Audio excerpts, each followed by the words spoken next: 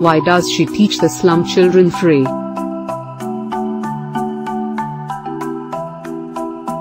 Why are slum children taught free by her?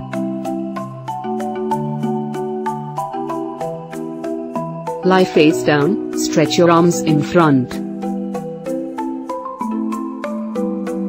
Let face be down, let arms be stretched out. The students have been punished by the teacher for negligence of duty.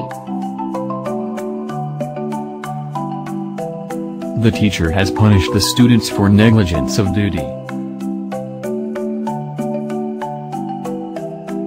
The Greeks expected to win the international trophy. It was expected by the Greeks that they would win the international trophy. We will not allow them to run away. They will not be allowed to run away by us.